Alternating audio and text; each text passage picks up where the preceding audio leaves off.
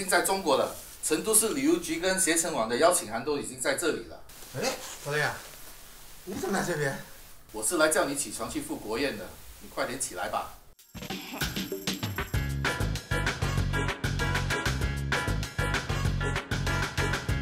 我叫 Aaron，和我的朋友 Colin 一起来自新加坡。这次受成都市旅游局和携程网的邀请，来到成都。作为两名资深吃货，我们将探寻一次不一样的美食之旅。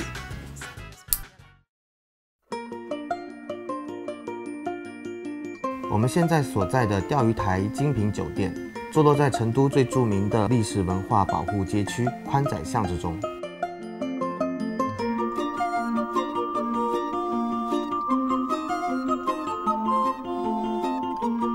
也许你想不到，在这里隐藏着鲜为人知的美食，那就是钓鱼台国宴菜式。这也是我们美食之旅的第一站。中午好，这边请。这里没有专门的菜单，餐厅会根据客人的要求为其配菜，相当于私人定制。酸辣乌鱼蛋汤请慢用。酸辣乌鱼蛋汤源于鲁菜。选用海类珍品乌鱼蛋，配以熬制十小时以上的温润鸡汤，再加入秘制酸黄瓜汁，汤色则清亮，口感干裂，酸辣爽口。汤看上去非常清澈啊。对呀，黑胡椒味的这个重呢，但在汤里面完全看不出有任何的胡椒，对，清澈见底。它是以前邓小平最喜欢的一道汤也。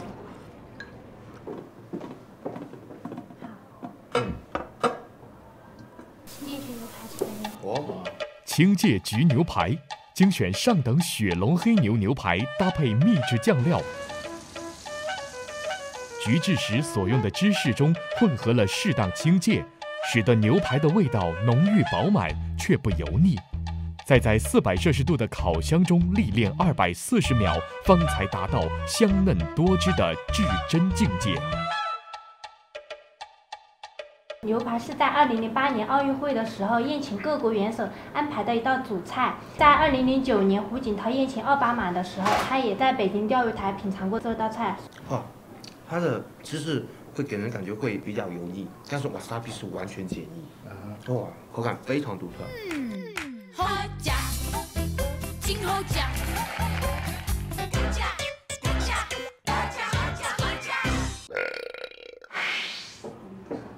面，它是采用特制的面粉，纯手工称制而成，它长度可以长达二十八公里的。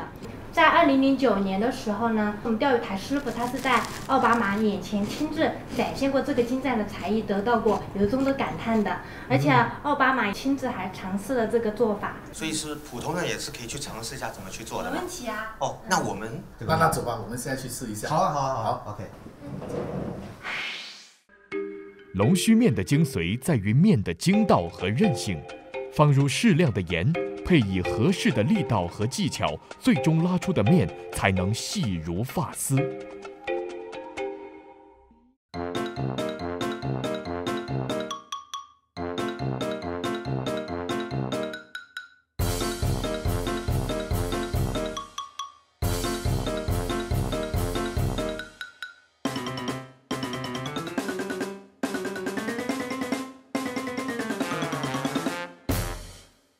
今天的成果挺好，挺好。第一次做龙须面，体验了呃不同的饮食的文化。在吃的时候看到龙须面就很细，它细如发丝嘛，嗯，所以就想说哇，这么细的面要怎么样拉出来？听说还能够穿过一个针孔，对，好厉害。我我以为这个国国宴只能在北京那边才能体验到，想不到来到成都也能体验到。对，我们在想着说它的这个呃菜色应该是集中国的所有的一些。菜色为一身，呃，把精华的部分全部都啊啊展现呈现出来。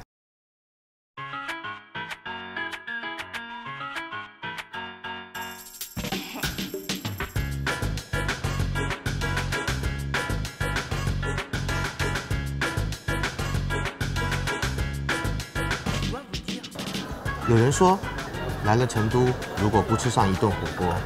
那么就不算真正来过成都。地道的四川火锅，鲜香麻辣，配菜多以动物内脏为主。对于不少外国游客来说，这是很大的挑战。在新加坡有不少的火锅店，可是从来没有一家会如此多的动物内脏作为配菜。你好，大家下菜已经上齐了。毛肚、鹅肠还有腰片的话，烫的最好的时间就是十多二十秒就可以吃了。然后菌干可以煮个三到五分钟，那个川味牛肉的话煮五分钟，然后黄喉的话一分钟就可以了，请慢用。好，谢谢。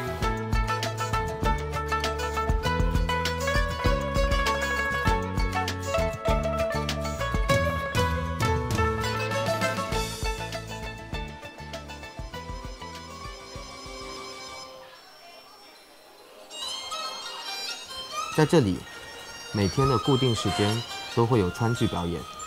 对于我们这样的外国人来说，这又是一个近距离感受四川文化的机会。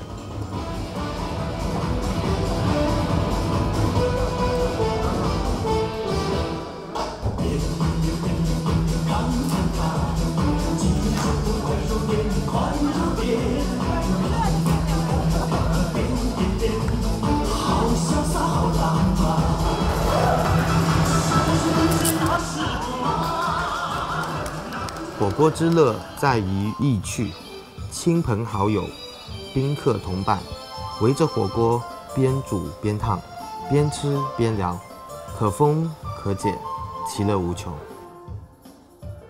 成都这里的火锅那个口味会比较重，它的辣、它的麻都是比较呃充足的。我们还尝试了很多的呃不同的这些啊、内内脏的这些对菜这些菜品。对那这些菜品在新加坡就很少有，很少有见。然后新加坡的火锅通常是会比较多的肉类啊，还有海鲜啊这一这一方面，所以和成都是有有蛮大的区别的。对对。在我们的印象里，成都人的生活是悠哉悠哉的，全程除了火锅的味道，就是麻将的声音，这是属于成都人特有的生活方式。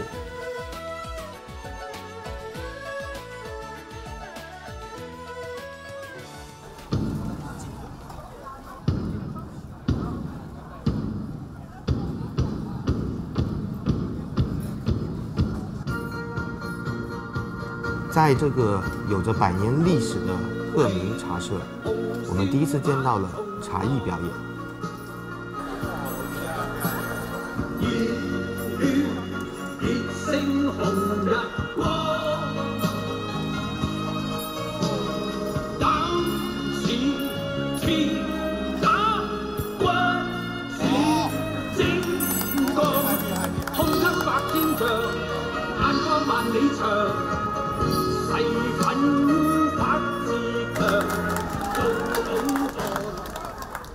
令人惊奇。对，对，它速度非常之快，而且它在这样的旋转的过程中，居然它的茶水也是没有滴出来。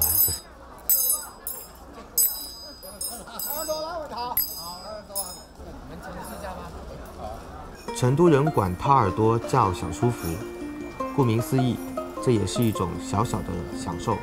我们亲身体验了一次，这是一种无法用言语来诉说的美妙感觉。就是它里面再会不会听得听得更清楚？它转的时候的那个感感受很不一样。对对。在成都，随时都能吃到各种小吃。对于吃货来说，这是一件多么美好的事情啊！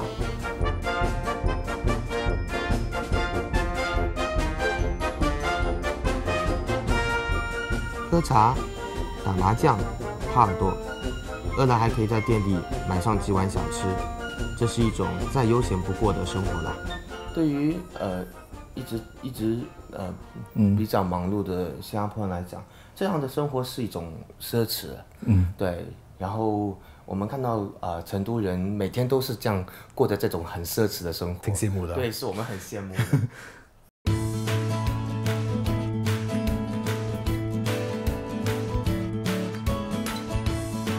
对于川菜的了解，最早起源于火锅，麻辣和厚厚的红油也是我们印象中的川菜。在成都，川菜不断创新，新派川菜逐渐发展起来。立志要吃遍天下的我们，又怎么会错过这次的机会呢？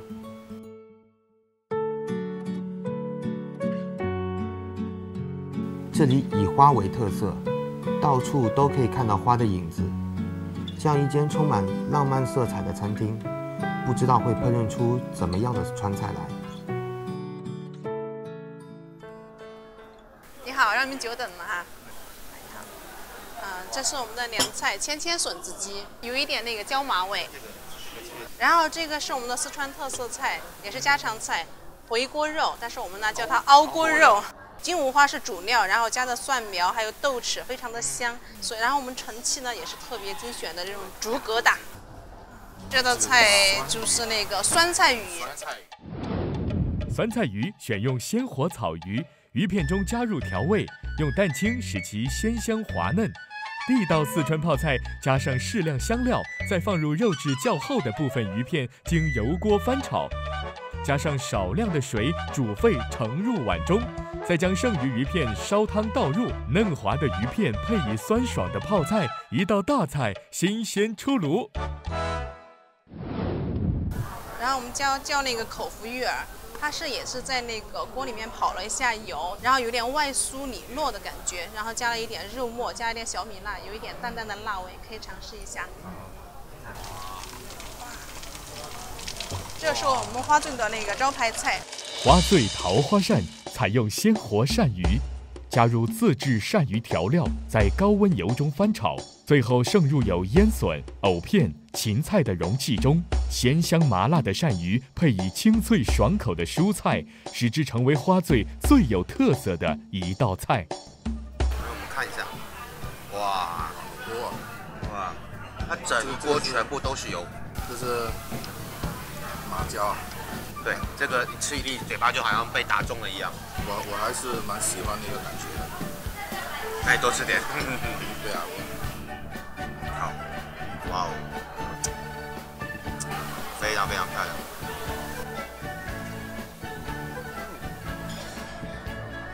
哦，这个绝对是吃了一口还想再继续吃。对啊，哇，停不下来。我终于知道它为什么叫千千笋子鸡，因为前面有前面是笋，然后后面呢是它。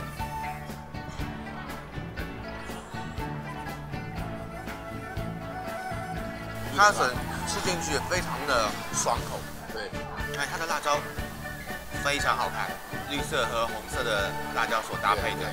我们来试试这个回锅肉，这边叫熬锅熬锅肉，它放在这个竹子里面啊，很有特点。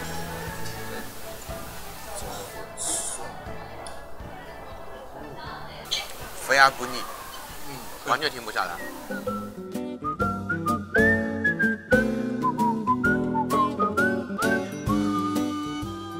都是一个啊、兼并包包容的一个城市，就是既可以吃到非常传统的地道的成都的美食啊、也有很多外来的不同的一些啊啊、这种美食的文化融入在其中。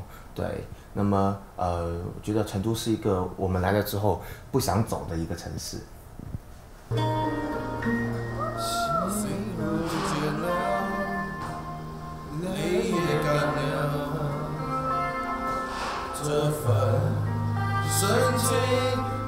难舍难了。爱一个人，如何厮守？我认为每一种美食，它都代表着特有的文化。品尝的过程其实就是一种文化的体验。